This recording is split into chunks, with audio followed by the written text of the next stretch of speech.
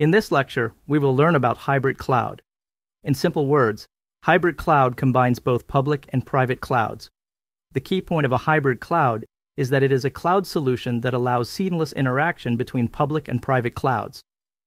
For example, public cloud can access data and applications of private cloud, and the converse is also possible. Therefore, it is a perfect solution for organizations that need flexibility, cost saving, quick scalability features of public cloud, and additionally better security and control features of private cloud. There are two common types of hybrid cloud. One is cloud bursting type, in which organizations use private clouds to securely store their data and proprietary applications.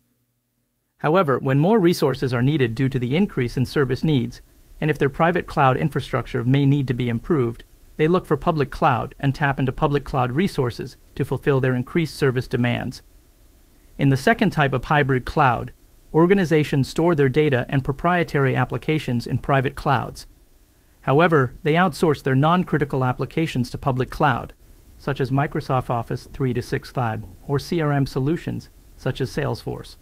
Also, organizations can leverage multi-cloud architecture in hybrid cloud, where organizations can use different cloud providers for their various cloud services needs.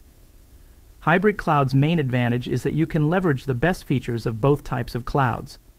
For example, organizations can use private clouds to secure and regulate their data tightly. And then they can securely move them to public clouds such as AWS, for example, to leverage their analytical machine learning services to build actionable insight solutions with cost and time efficiency. Hybrid cloud saves overall IT infrastructure costs because public clouds can be used when scalability is needed Additionally, many services are readily available on public cloud providers, which can be leveraged instead of developing your in-house solutions. For example, analytical services. With regards to cons, since there is integration between private and public clouds, this can cause potential performance issues because of network latency and security risks, as data are shared between public and private clouds.